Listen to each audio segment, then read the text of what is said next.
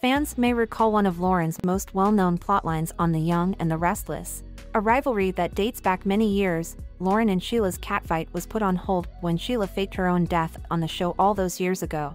But that ancient rivalry is about to get a fresh lease on life. Sheila recently planned another death on the bold and the beautiful by way of a bear attack, but she is very much alive and thriving in Los Angeles. We can expect that Lauren will soon find out Sheila's alive and freak out. Keep watching to know what we think about this storyline. Hey everyone, welcome to Trend Street.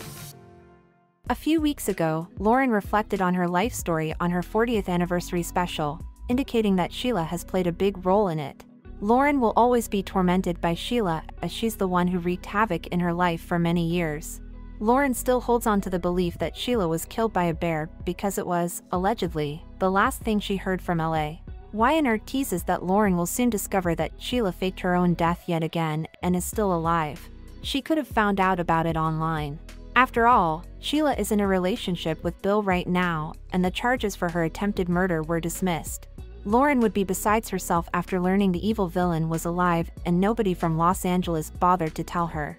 In the months leading up to the madwoman's resurrection on Bold and Beautiful, Eric never once considered picking up the phone to call his ex-girlfriend, Lauren, to warn about the woman who's always trying to kill her. Nobody in the Forrester family thought to warn their good old buddy about her being in danger.